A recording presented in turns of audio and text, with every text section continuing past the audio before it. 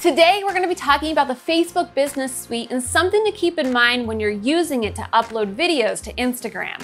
Hi, Taylor here with Financial Potion, where video is your financial potion. And to never miss out on a video, please make sure you're subscribed to our channel and then click on that bell so you're notified every Friday at 5 p.m. Arizona time that a new video has been uploaded. For one-to-one -one training or just to support our content, please click above and connect with us on our Patreon page. The Facebook Business Suite is really easy to use and it makes it so you can schedule out your Instagram posts. However, if you're going to be using it to upload videos to Instagram, keep in mind that you're not able to select your cover image at the time of the recording of this video.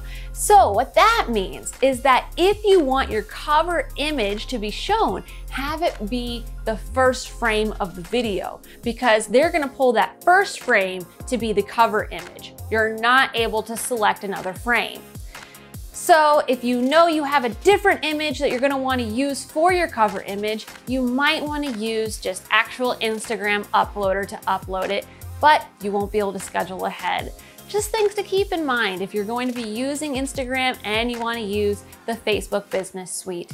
If you have any other questions about this topic, please leave them in the comments below. And once again, I hope this helps you be more successful posting to Instagram using the Facebook Business Suite.